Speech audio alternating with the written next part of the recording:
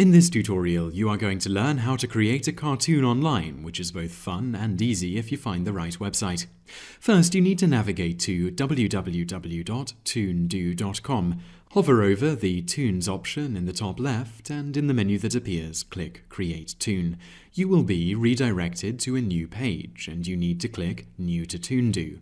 Enter a username you want, as well as a password and your email address, then click Register. You will now be registered with the site and you will need to enter the details you just created and click Sign In. Once again, hover over the Toons tab and click Create Toon. A new page will load and you will need to click on the type of layout you want. The editor will start to load and this can take some time. The loading speed will depend on the speed of your internet connection. Once the editor has loaded, you will see the number of frames you chose to create as well as numerous tabs for inserting items above.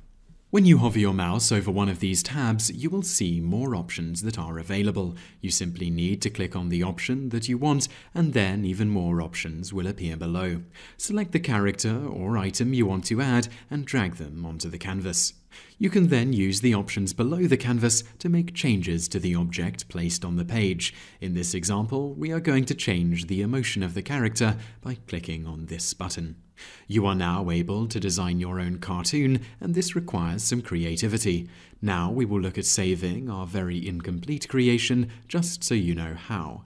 Hover over the icon in the top left of the screen and click Save. In the pop-up window, enter a title, description, and some tags. Save the cartoon, then click OK, and that is how to create a cartoon online.